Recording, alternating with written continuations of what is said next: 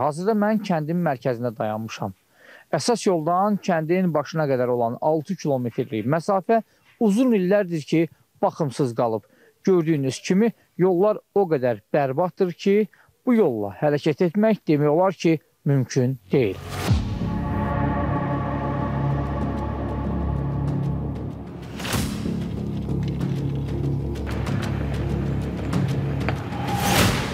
Calud kəndinə sonuncu dəfə asfalt örtüyü 90-cı illərdə çəkilib. Bu günə qədər isə asfalt örtüyü keyfiyyətini itirib və yolda çala-çuxurlar əmələ gəlib. Əksər hissələrdə isə asfaltdan əsər əlamət qalmayıb.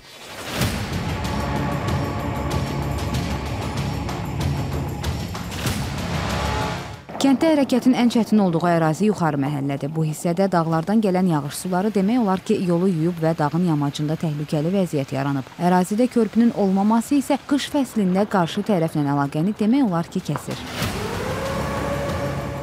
Qarşı tərəfdə isə 25-30 ailə yaşayır. 2300-dən artıq əhalinin yaşadığı Calud sakinləri yolun nə vaxt təmir olunacağı sualına cavab axtarırlar.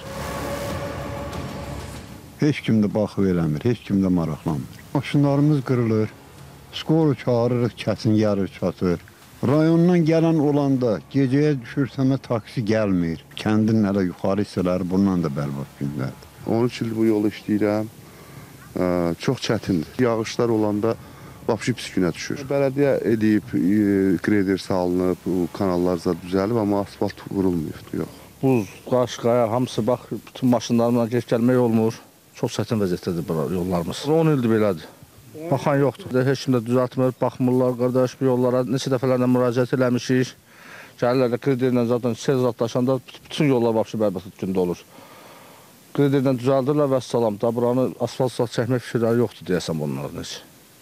Kənd Bələdiyyəsinin sədri Adil Şükürov bildirdi ki, kəndin əsas yolunun təmiri ilə bağlı bir neçə dəfə aidiyyatı üzrə müraciət ediblər. Bundan başqa zaman-zaman yollarda bələdiyyə hesabına təmir işləri də aparılıb. Lakin çox keçməyib ki, yağış suları yenidən yola əvvəlki vəziyyətinə qaytarıb. Avtomobil Yolları Dövlət Agentliyinin mətbuat katibi Anar Nəcəfli Space xəbərə bildirdi ki, bu yol Mollalı, Dəymədərə, Yemişənli, Qarabaldır, Calut, Malıq avtomobil yolu layihəsidir. Həmin yolların yenidən qurulması dövlət proqramı çərçivəsində nəzərdə tutulur və bu proqram çərçivəsində maliyyə maliyyə vəsaitinin ayrılması gözlənilir. Vəsait ayrılan kimi agentlik tərəfindən həmin yolların əsaslı şəkildə yenidən qurulması icra olunacaq. İlkin Piranov, Müşabə Hidayət qızı, Səhərin statusu üçün.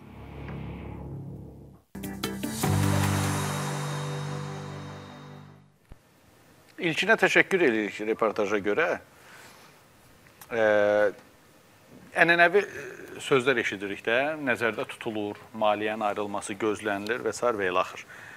Öncə Calud kəndinin bələdiyyəsinə təşəkkür edirəm ki, heç olmasa nəsə eləməyə çalışıblar. Orada körpülərin qurulması, yenidən o yolların təmizlənməsi, bərpa olunması və bələdiyyə hesabına bunların olunması baş verib. Hətta bunu kənd sakinləri vurğulayıb.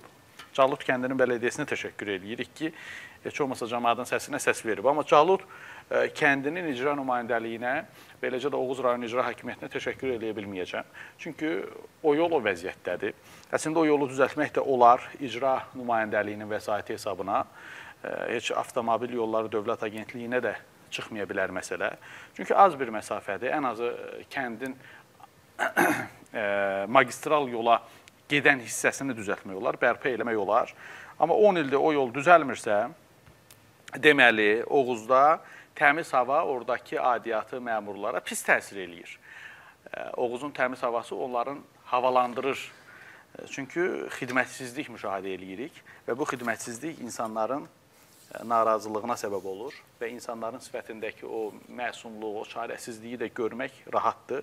İnanırıq ki, bu sujetimizdən sonra Oğuzun Calud kəndinin yolları bərpa ediləcək, düzələcək. Düzdür, Anar Nəcəfli həmkarımız açıqlama verib ki, nəzərdə tutulur, düzəlir. Yəni, burada Anar Nəcəflik də bir şey yoxdur. Düşünürəm ki, Oğuz rayon icra hakimiyyəti, Calud rayon icra nümayəndəliyi bu məsələni gündəmində saxlayacaqlar və oranın həmin o Calud kəndinin yolunun bərpası üçün əllərindən gələni eləyəcəklər.